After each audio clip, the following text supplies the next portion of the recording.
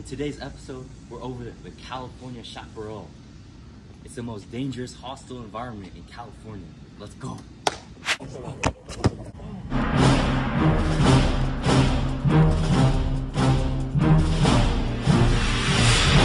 We're in the California Chaparral.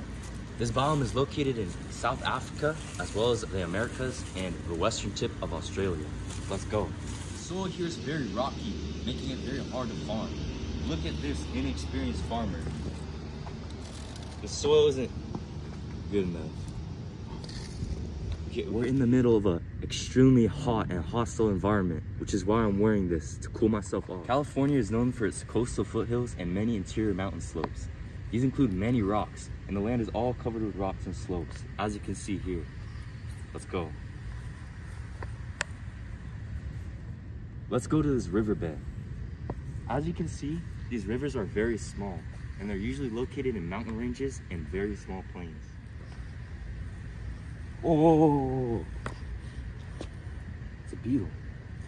We need to take any protein we could get. This is what this is my meal today. In this region, there are many animals, including the acorn woodpecker, the Sonoma chipmunk, the condor, the hedgehog, the cougar, and many other animals that are nocturnal or burrowing. burrowing. Let's look at some of these animals. There are many different types of trees and plants in this area. Some of them include shrubs, pine trees, oak trees, and many others. Let's see.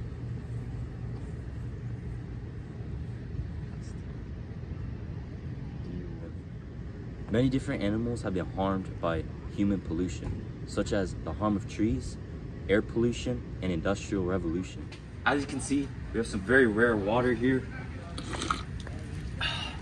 This is very hard to come by, especially in some rivers, since there aren't many here. Let's keep finding some. Like I said before, water is very difficult to find here, making it very difficult to survive. Your main food source out here is gonna be trees and plants, like this one. Let's get some food.